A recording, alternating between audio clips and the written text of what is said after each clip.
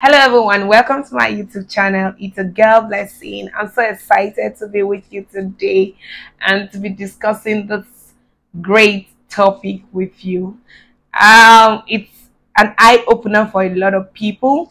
Like it works for me. Um, I'm speaking based on research and also personal experience as an ex-banker. Yes, an ex-banker, an ex-ex-ex-ex ex banker. All the bankers, all the ex bankers say hi. Hi. Yeah, so I'm going to be speaking on like the topic is how the bank is actually robbing off robbing us of our money. Yes, the bank is actually taking from us and we are thinking we're saving. The bank was created with the idea of actually helping us save our monies and all of that. Initially, when the bank was created, they, they were not charging all these charges and fees that they are charging on accounts. When you want to withdraw money, you want to transfer money, there are certain charge on the account. Those things were not done when the bank was created. It's a recent and new development. So it's really not it, it, it was really not in the plan of the bank to be charging the customer. So the bank was supposed to make money from lending people money.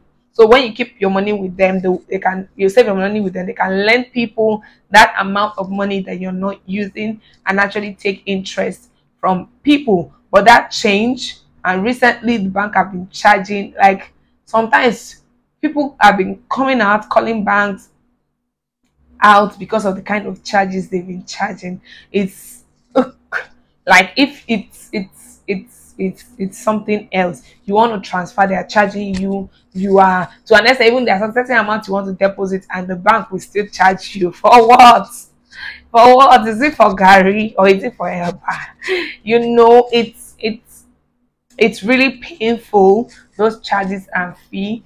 That's how the bank have been taking monies from everyone. So imagine out of the billions of people in a particular country operating accounts every day, and some people do more than one transactions with the one more than one transaction with the bank, and we are being charged this month. Sometimes you see 50 something naira, this one, that one, 10 naira, 5 naira. For the Nigeria, if you're in other countries, you know what they charge you in. So it's it's really not nice. If you add all those naira cover little drops of water makes an ocean. You realize at the end of the month you really spent a whole lot of money just making transactions. And a lot of people that are not financially educated think you keeping your money in the bank is actually the best way to save it. It's not the best way to save it. So keeping your money in the bank is going to like you're keeping it let's say you do not touch it for 30 days you're going to receive interest. But that interest is very little. It's not something very significant. Try it. Keep your money in, your savings account for 30 days. You realize that the interest that is coming on it at the end of the 30 days is not significant. As long as you're going to touch that money in your account to do transactions you're going to be charged for it. And to me it's not the best way to actually get rich or wealthy. So right now i'm going to tell you and in, you know another thing, banks still use our money to actually lend to people and they get interest. They use our money to do businesses and they still get interest. Why don't you use the money yourself to invest and to do business and make money for yourself? So that's what I've come here to tell you. You can invest, you can use your money also and make money for yourself. They will not like that I'm telling you this, but it's a secret. So let's discuss like family that we are because on this channel, I'm here to help you in every way I can. You're here to help each other. That's why you're family. You know what? Don't tell them our secrets. It's in house. So the first thing you can do, let's say, and I'm saying I'm going to be giving this advice also considering the fact that some people are low income earners. They don't earn as much as some other persons. Some persons are low income earners. So I'm going to be actually giving this advice, being putting in mind people that earn 10,000, 5,000, 30,000, 20,000, 50,000, 100,000 in mind. And also people that earn much more can do much more. Number one thing you can do is community lending. what I mean, what I mean by community lending is there are certain local organizations that actually, even some that actually registered, actually lend money to people. So some of them are looking for investors in different sizes, from bulk investors to very low um, minimal investors. So you can decide to be an investor with this company by saying, hey, I have 30,000 I'm not using. I can give you every month. You are lending to these people I'm collecting 30% interest rate. I am going to be taking 10% of the 30%. You keep the 20%. It's a good deal. You win, I win. It's a win-win. So you see, you are actually letting your money work for you. So it's a win-win. You give it to them to run the show be careful to actually look for very good um, institutions or organizations that are doing this so you don't fall victim of fraudulent people. When you see them, invest with them, get your returns, clean your mouth, walk away. So instead of just keeping your money in the bank and you're getting 0.0 something percent, you actually get 10%, 20% from lending to people that actually did the money in that period and you're getting your money. Another thing you could do is land banking. There's something in real estate. You might for if you have block money you, by all means buy land buy houses and all of that. But if you are earning very little and if you're earning very little and you're looking for ways to actually increase your money that your money just sitting in the bank and the bank is robbing you of every time you're doing these transactions you know you don't need that money for a specific period of time take that money put it or keep it with a real estate investment company that you can trust. They call it land banking. There are several real estate companies that do that. You can actually tell them, okay, I can be giving you 30,000, 50,000, 10,000 every month for a period of 12 months or for a period of five years. At the end of that year, it's either you use that money you've saved with them plus your interest to actually buy properties with them or you collect the money and your interest and you go home your returns on investment and you go home so either way it's a win-win situation for you your money is not sleeping in the bank when you're doing transaction on the account and they are charging you and you're getting very minimal interest another thing you should consider doing instead of just keeping your money in the bank and it's not earning enough for you and you're also being charged is to invest in stock and shares you can buy very little stock in different organizations, research about different organizations, find out the organization that is doing pretty well, find out even they are very small organizations that still have stock, but they're really doing pretty well. You can find out how you can invest with this organization and actually invest with them.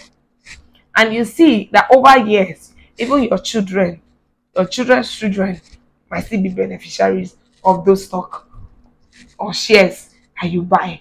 So you see, it's a win-win and money just sitting in the bank. Some people keep their money in the bank.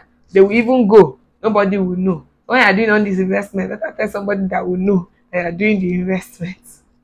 okay, so it's a win-win buy stock, buy shares, you know.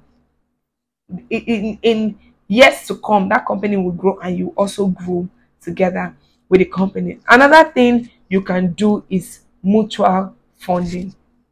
There's an aspect of the bank that they don't really tell you about. So when you enter the bank next time, tell them you want to invest with their mutual funds. A lot of banks have it. A lot of banks have it. Mutual fund. So find out from them how you can be a part of their mutual fund investment. So mutual fund is actually an avenue whereby instead of their big projects to invest in their government projects, to invest in their government bonds, to buy, there are a lot of things to actually invest money in, but you need money in bulk to actually get so much profit from from this investment. So what the bank actually creates is an avenue whereby you can bring your 10,000, I can bring my 100,000, another person can bring their 10 million, 20 million, 100 million. The, each person in the community or in the fund can bring the little amount of money that they have. We put the bank puts it together as a mutual fund and invest in the project. At the end of the month, you get your returns on investment, and I could bet that the returns you get on that those investments are actually far better than what you would get. Uh, they are far better than what you would get from just keeping your money in the bank. So for a salary earner, open a mutual fund account if you want to save 10,000, 20,000 a month, instead of keeping it in the bank where you are even tempted for the mutual fund, you don't have access to it. So there's a level of discipline. For you to have access to your mutual fund, you have to write, you have to send mail, you have to do all those things, which is very difficult. With that in mind, it actually restricts you from accessing such investments and there's a limited amount of time you have to keep that investment for you to have access to it so mutual fund is another avenue of increasing the value of your money than just keeping it in the bank. My last piece of tip to you to actually not let the bank steal from you again and you can increase your wealth is talk to a financial expert, a financial investment expert. You can say, Oh, I don't have the money to go to a consultant or a professional. It's fine. In your sphere, there's at least five people that are rich, that are doing well. We have a rich dad around us, like our great mentor would say, Robert Kiyosaki. Hola to you, sir. Much respect. Yes, we have a rich dad somewhere just waiting for us to ask them questions. So instead of seeing those rich people, are you thinking of the next two urgent 2k, urgent 5k you're going to ask from them? Why don't you walk up to them and say, sir, ma, bros, uncle, sister, brother please is there a way you can teach me to invest this small money i have so that i can get more returns on investment i can get more value for my money instead of just keeping my money in the bank you'll be so surprised that these rich people are just waiting for you to give them an opportunity to teach you what to do and how to make wealth. I'm still your girl blessing. My prayer is that every one of us are going to be so wealthy, we're going to be so rich, we're going to be so prosperous. It's my joy that I'll go through this life journey with you just to see you always, always fulfilling your destiny. It's still your girl blessing. If you're new to my channel, welcome. I love you. Hit the subscribe button and click on the notification bell, please. And if you are a returning viewer and subscriber, you know all I have for you from this end is love, love, love. Thank you. See you guys next time on my channel. I'm still your girl, still your girl, still your girl. Bye bye.